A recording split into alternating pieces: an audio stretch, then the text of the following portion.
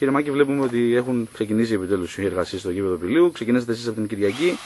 Ε, Πόσος χρόνος απαιτείται για να ετοιμαστεί το γήπεδο, ε, Σύμφωνα το πρόγραμμα, Παρασκευή λογικά θα γίνει η διαγράμμιση του γήπεδου. Μετά, βέβαια, θα πρέπει να μείνει κάποιο διάστημα για να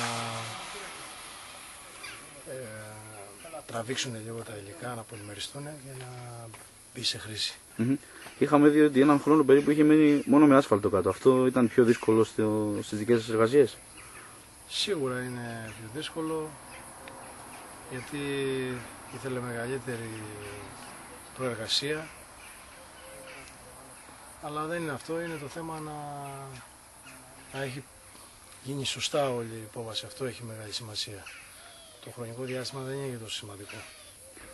Σαν, ε, σαν γνώστης του αντικειμένου και των υποδομών στα γήπεδα, όπως βλέπετε τους πάγκους στο γήπεδο και τις εξέδρες, ε, θεωρείτε ότι είναι, είναι λάθος και η τοποθέτηση, η τοποθέτηση και των δύο; Η άποψή μου εμένα ήταν ότι αυτό έπρεπε να, εφόσον έγιναν τόσο μεγάλες εργασίες, θα έπρεπε να έχει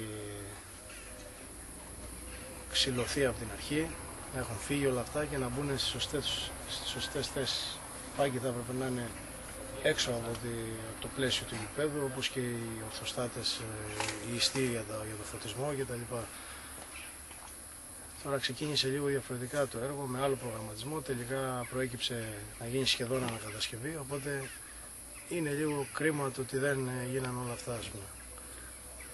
Πότε θα είναι έτοιμο για να μπει η ομάδα στο... Μετά τις 16 Αυγούστου θα μπουν για προπόνηση.